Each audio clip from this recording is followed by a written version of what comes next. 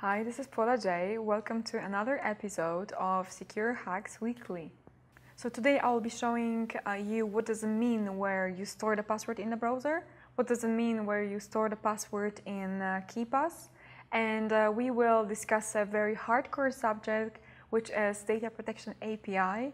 Uh, this is something that uh, again everybody talks about, but it's so difficult uh, that it's quite hard to explain it well. So I will do my best. And also, um, good news is that our team did a lot of discoveries in data protection API, uh, as not many teams in this world, I think I can say that.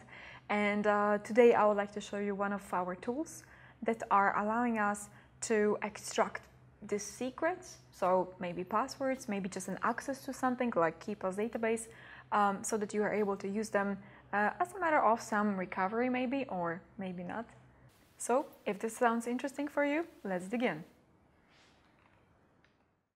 Okay guys, you should see my screen right now. I am logged on over here as an administrator, as you see. And this is a workstation of a user. And if we go into C, um, users Freddy Krueger update roaming, that's the place where we've got KeePass. And this is the place where we've got KeePass settings for the user, including the protected user key bin. That's the encrypted key by using data protection API that encrypts the KeePass database. So what we're going to do? Well, uh, from the user's data, so from desktop, I have already copied to my analysis folder CQBase. Let me show you. Here, yeah, that's the one. And uh, we will try to get access to it. That will be our uh, case. First of all, maybe Windows user account. Well, no, uh, I will try to specify the specific password. By the way, it's quite important for us to refer to secure and then again, no. And uh, what, what will be our job? Our job will be to, to get access to the uh, KeePass database by having access to the encrypted master key of the user. If you watch my video regarding cache log on data and data protection API, that's basically one of the keys from master key containers. So this is the master key, the encrypted master key of the user, which we can, for example, decrypt by having access to the a private key that we can find in the domain controller's memory. So it's more a question about who user is and how user protects the KeePass database. So what do we have over here? Well, if we do there, we've got over here a bunch of different types of tools. One of those is a CQ, CQ Data Protection API Blob Decryptor and uh, CQ Data Protection API KeePass um, DB Decryptor. These are our tools that we wrote and uh, these are the ones that we're going to be using to get access to users KeePass database. If you have a look, uh, this is something that is we, call basically an entropy for KeePass. We're going to need it in order to get access to the user's database. But first we're going to use the CQ Data Protection API blob decryptor. I'm going to copy this one as one of the values. Here we go. And here, you, as we can see, we, we need master key, so that's something that I've got, entropy and blob. Um, so let's do it. So entropy maybe first. Here we go. And then we're going to copy the user's master key. And then we've got master. Here we go. And then we've got blob. And that blob, it's this file that I was talking about, which is in the user's profile, which is C analysis. And in our case, that will be the protected user key.bin. And perfect, we've got over here this key. So this is the decrypted blob. That's the key that decrypts the KeePass database. So next tool to use will be the KeePass uh, DB decryptor. So let's get into it and what, what we have over here. Minus K for the key, that's exactly what we got right now. Minus F for the file to create a new um, to, to, specify where the database is and eventually create a new uh, database uh, with, um, you will see in a moment what.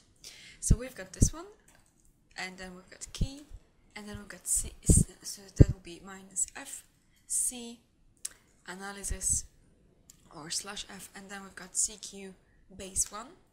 Perfect, so we have just successfully decrypted the KeePass um, database. Let's have a look at the analysis folder this is the one that is created right now so I'm gonna just try to open it okay so that is the one no that's not the one that's the previous one okay here we go So right write one more time. Okay.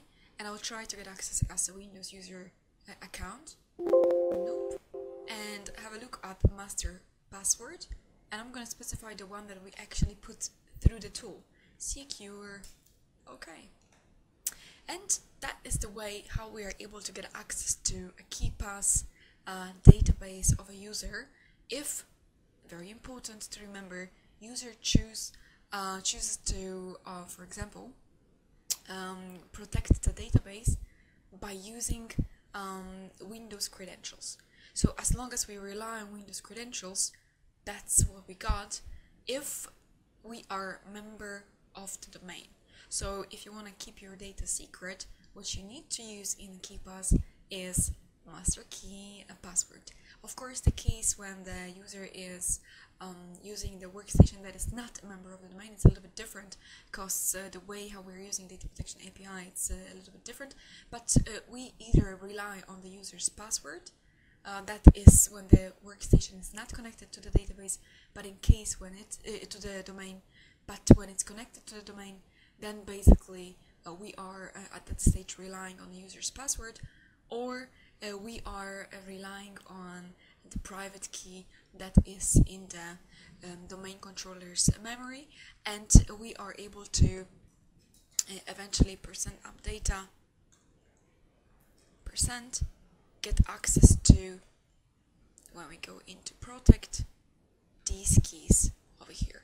And that is the public key of the domain that encrypts user secrets so this is how it looks in the KeePass. KeePass is a very good solution as long as of course we rely on master key and for example we can combine it also with something else. Okay guys, that's it. So this was a lot of information. Um, we have discussed data protection API basics. Uh, we have used this in uh, practical terms like uh, getting access to user secrets. Can we do it or we cannot? In what kind of conditions? Plus, uh, I've also shown you how we are able to get access to KeePass database when it's relying its protection on Windows credentials. A lot of information. Thank you so much for attending. And if you got some questions, I bet you do, uh, post them in the comment sections below. I'm super, super curious what kind of questions you're going to have because it's a, not a trivial subject.